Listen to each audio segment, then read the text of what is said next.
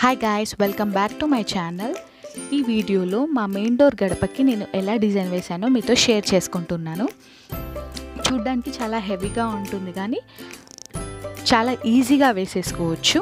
First yellow paint వేసి one day కంప్లీట్గా dry అవ్వనివ్వాలి అండ్ నెక్స్ట్ డే డిజైన్ వేశాను.